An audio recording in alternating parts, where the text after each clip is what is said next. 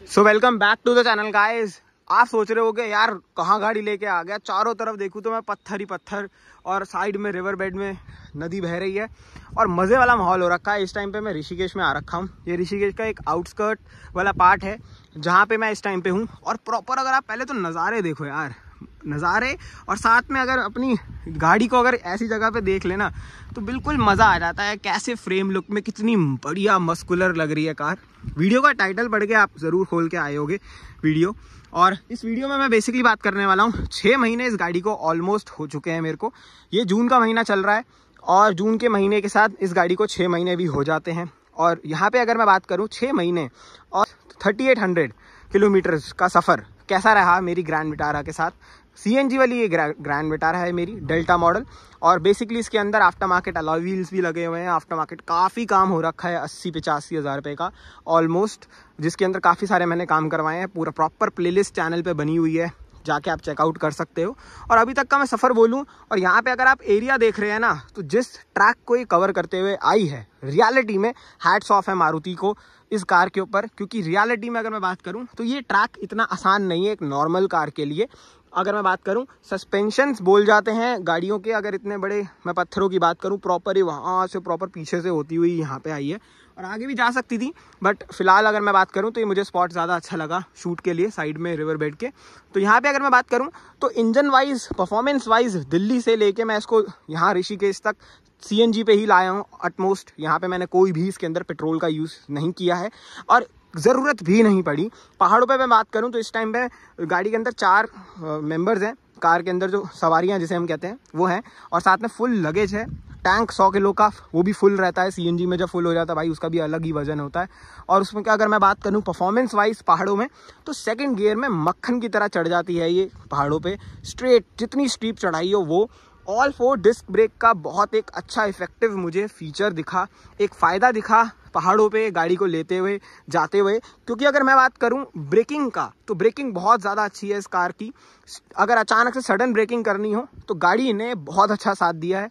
यहाँ पे मैं बात करूँ, अभी जस्ट थोड़ी देर पहले इतनी तेज़ बारिश हो रही थी, उस तेज़ बारिश के अंदर भी हिली एरिया पे स्टीप चढ़ाई पे चढ़ना और बिल्कुल without any traction loss car चढ़ी, कार ने जहाँ पे सडन ब्रेकिंग मारनी पड़ी सडन ब्रेकिंग मारी, कार ने ओवरटेकिंग करी, कार के अंदर जो आप सोच सकते हो, वो आप कर सकते हो। यहाँ पे कोई गुंजाइश नहीं है, मैं कहूँ ग्राउंड क्लियरेंस की बात करूँ तो वो आपको यहाँ पे 220 सौ mm की देखने को मिल जाती है गाड़ी के अंदर। और रियलिटी में कार का जो इंजन है, वो भाई गजब है। इंजन का भी मैं एक आउटलुक आपको चेकआउट करवाऊँ। बाकी अगर बात करूँ तो भाई बहुत ज़्यादा मज़ा आ रहा है। ऐसी बिल्कुल आउटस्कर्ट वाली जगह में आने का अपना ही एक फील है। और ऐसी अपनी खुद की गाड़ी के साथ आ जाओ ना, जो इतनी कैपेबल हो तो और ज़्यादा मज़ा आ जाता है। यहाँ पे बात करूँ तो 1500 सीसी का चार सिलेंडर इंजन देखने को आपको मिल जाता है। इंजन के अंदर से कोई भी एज सच नेगेटिव पॉइंट नहीं है। या माइलेज की बात करूँ तो आपको माइलेज प्रोवाइड कर रहा है। हाईवे की माइलेज, सिटी की माइलेज ऑन हिल माइलेज काफ़ी ज़्यादा अच्छी है और काफ़ी अच्छी तरीके से एक ये परफॉर्मेंस वाइज कार मुझे लगी। और अगर किसी को पर्सनली कार ये मैं लेनी है ना तो ज़रूर से ले सकता है यार। सत्रह इंच के इसके अंदर आपको टायर प्रोफ़ाइल देखने को मिल जाती है, जो कि आपको 215 की टायर प्रोफ़ाइल देखने को मिलती है। 60 इसका जो है साइड वॉल एरिया है। एलॉय व्हील मैंने इसके अंदर आफ्टर मार्केट लगवाए थे। बहुत से लोग बोलते हैं, यार एलॉय व्हील लगवा लिए एलॉय व्हील लगवा लिए, अब तो तुम्हारी माइलेज गई। तुम्हारे सस्पेंशन गए, तुम्हारा एक्सल गया गाड़ी का, ऐसा कुछ भी नहीं हुआ। टच वुड अभी तक, क्योंकि मैंने गाड़ी को बहुत अच्छे से चलाया है। ऑफ़ रोडिंग ट्रैक इतना गंदा ऑफ़ रोडिंग कर लिया। उसके बाद अलॉय व्हील में टच वुड कुछ नहीं हुआ। आप सिटी ड्राइविंग में बात करो, आपको वहाँ पे इतने सारे पॉट होल्स मिल जाते हैं। अचानक से सडन वाले स्पीड ब्रेकर से लेके बहुत सारी चीज़ें होती हैं। अगर अलॉय व्हील अभी तक अच्छे चल रहे हैं ना तो बहुत ही अच्छी क्वालिटी के वो भी हैं। और पर्सनली बोलूँगा, अच्छी शॉप से डलवाओगे, एक रेनॉन्ड शॉप से अगर आप डलवाओगे तो आपको एलॉय व्हील की जो क्वालिटी है, वो भी देखने को मिल जाती है। बाकी अगर मैं बात करूँ तो माइलेज के ऊपर कोई भी डाउनफॉल नहीं रहा। एक किलो का भी जो कहते हैं ना कि एक दो लीटर का फ़र्क पड़ता माइलेज में यहाँ पे एक किलो का भी फ़र्क नहीं पड़ा। मेजरली अगर मैं बात करूँ तो यहाँ पे जो सिटी में मेरे को 24-25 की ये माइलेज देती थी निकाल के सीएनजी के ऊपर वही माइलेज आज भी ये मेरे को सिटी के अंदर दे रही है। और हाईवे के ऊपर वही पर टैंक अगर मैं बात करूँ अगर इसके अंदर छः साढ़े छः किलो आ जाती है गैस आराम से एक प्रॉपर फिलअप में तो ये आराम से 250, 220, 230 किलोमीटर निकाल के दे देती है इजीली विदाउट एनी मैं कहूँ इश्यूज़ की आपको कोई दिक्कत आए रीफिलिंग के अंदर, वो चीज़ यहाँ पे काफ़ी अच्छी हो जाती है। आपको उसकी टेंशन नहीं है, आपको रीफिलिंग 200 किलोमीटर मिनिमम गाड़ी चलेगी, उसी के बाद ज़रूरत पड़ेगी। आप विद एसी की यहाँ पे मैं बात कर रहा हूँ, ढाई किलोमीटर की रनिंग आराम से निकल जाती है गाड़ी के अंदर। सेकेंड सर्विस हो चुकी है। सर्विस की वीडियो जिसने नहीं देखी हो, वो जाके देख सकता है। बाकी अगर मैं बात करूँ तो 3800 किलोमीटर ये चल चुकी है और दिल्ली जाते जाते शायद ये 39 हो जाए। ऑलमोस्ट 4000 के आसपास गाड़ी चल चुकी है और गाड़ी के अंदर कोई भी यहाँ पे मैं बात करूँ फ्लॉ नहीं है नेगेटिव पॉइंट नहीं है।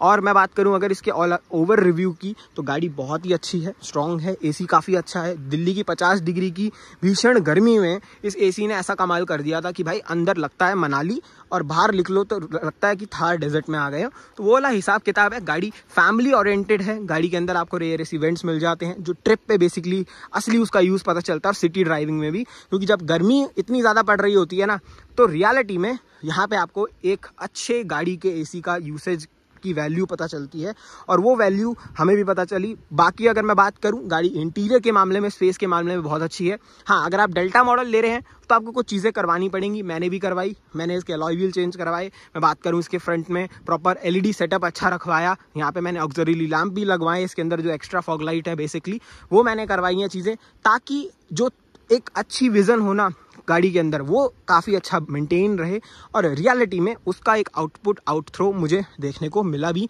सिटी ड्राइविंग पे भी हाईवे ड्राइविंग पे भी। और आज, अब मैं जब पहाड़ों पे आया हूँ तो देखते हैं, अगर रात को मैंने गाड़ी चलाई तो उसका एक छोटा सा रिव्यू आपके लिए मैं यहाँ पे भी निकाल के दूँगा।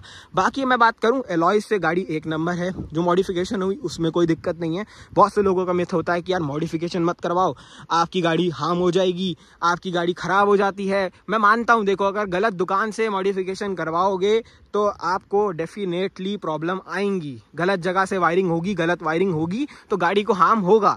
But on the same side अगर आप एक अच्छी शॉप से करवाते हैं, एक अच्छे इलेक्ट्रिशियन से प्रॉपर वायरिंग करवाते हैं। आप वायरिंग के लिए एक अच्छा अमाउंट खर्च करना चाहते हैं अपनी गाड़ी को, एक सेफ़ और साउंड वायरिंग सेट देने के लिए तो गाड़ी के अंदर आपको कोई भी दिक्कत नहीं आने के लिए। मेरी गाड़ी के अंदर भी एक्टिव बेस ट्यूब लगी हुई थी, वो मैं दिल्ली में लगा, रख के आया हूँ, क्योंकि ट्रिप पे भाई जब सामान रखना होता है तो उसकी ज़रूरत नहीं होती। सिटी ड्राइविंग में मेरे को थोड़ा शौक है म्यूज़िक का तो मेरे को वो मैंने अपने उसमें लगवाई थी। तो उसके अंदर भी यहाँ पर वायरिंग उसकी हो रखी है तो मैंने वायरिंग उस हिसाब से करवाई थी और उस टॉप नॉच क्वालिटी की करवाई थी कि गाड़ी के अंदर कोई भी यहाँ पे माल फंक्शनिंग ना हो। बाकी अगर मैं बात करूँ तो भाई गाड़ी एक नंबर है और कोई भी यहाँ पे आपको दिक्कत देखने को नहीं मिलेगी। ऑल राउंड गाड़ी है। ऑल अराउंड मैं बात करूँ, एक नंबर गाड़ी है। और किसी को अगर ग्रैंड मिटारा लेनी है तो पर्सनल सजेशन बोलूँगा, ग्रैंड मिटारा की तरफ़ आप इजीली जा सकते हैं इसके बेस मॉडल की तरफ़, इसके टॉप मॉडल की तरफ़, और काफ़ी एक अच्छा डील आपको यहाँ पे ग्रैंड मिटारा मिलते हुए दिखेगी। बाकी ये वीडियो यहीं ख़त्म करता हूँ। इस खूबसूरत नज़ारे के लिए एक लाइक तो देखो बनता है। स्पेशली आपके लिए कुछ ऐसा इनोवेटिव कॉन्टेंट मैं ढूंढता हूँ, ताकि नॉर्मल कई जगह पर गाड़ी लगा के वीडियो बनाना एक नॉर्मल कॉन्टेंट हो जाता है बट ऐसी जगह पर आना और अपनी गाड़ी के साथ अपने ही चैनल पे एक कुछ भी इन्फॉर्मेटिव कंटेंट डालना, वो पर्सनली मैं चाहता था काफ़ी टाइम से करना और राइट स्पॉट राइट टाइम मेरे को मिला तो मैंने आप ही सब, आप सबके सामने यहाँ पे डिस्प्ले किया। बाकी अगर बात करें तो और बहुत सारी मॉडिफिकेशन इसके अंदर सीरीज़ अभी आएगी। चैनल को सब्सक्राइब कर लो। प्लेलिस्ट को नोटिफिकेशन ऑन कर लो प्लेलिस्ट की, क्योंकि प्लेलिस्ट की लिस्ट बढ़ती जाएगी। अभी तो चार पाँच वीडियो मैं यहीं निकालूँगा अलग अलग स्पॉट्स पे। और बहुत सुंदर सुंदर नज़ारों के साथ आपको ग्रैंड विटारा की इन्फॉर्मेशन दूँगा। बाकी इस वीडियो को यहीं ख़त्म करते हैं इस नोट पे। वीडियो पसंद आए तो वीडियो को लाइक करना शेयर करना चैनल को सब्सक्राइब करना। ऐसी और इन्फॉर्मेटिव वीडियो के साथ मिलता रहूँगा। टिल देन इस वीडियो को देखने के लिए थैंक यू सो मच